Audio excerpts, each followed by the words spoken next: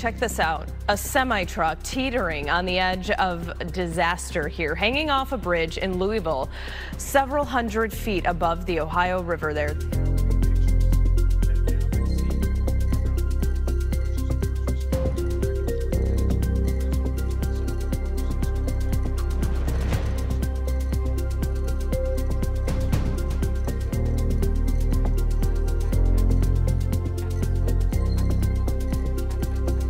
I was not nervous at all going over the edge because I knew that they had me on the top side. We trained for this situation probably 100 times, but to actually put it in action, uh, it felt good.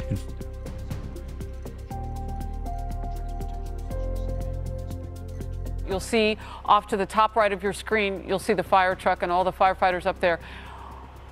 But this rescuer went down and just did a miraculous thing. And I, I just, we couldn't, we couldn't believe what our eyes were seeing.